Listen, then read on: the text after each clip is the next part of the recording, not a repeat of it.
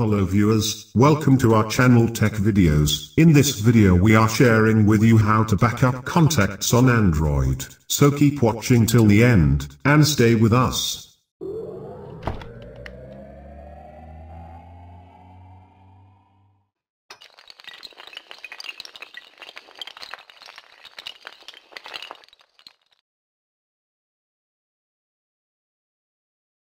If you don't subscribe our channel, please subscribe our channel and thumbs up like button. First open your contacts.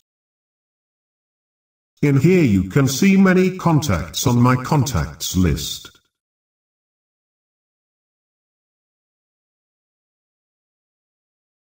So I want to back up all my contacts. Click on the three dot icon. Select import and export option. Now click on the export option.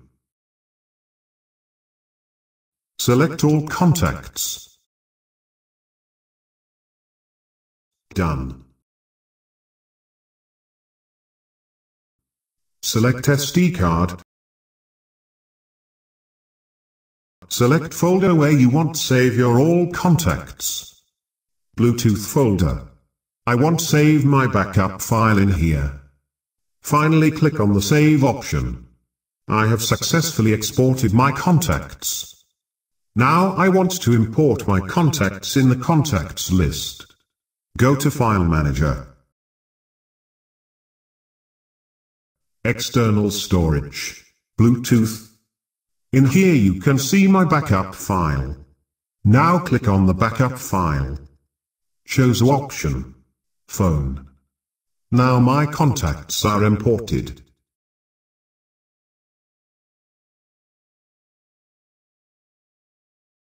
Finished importing. Go to check.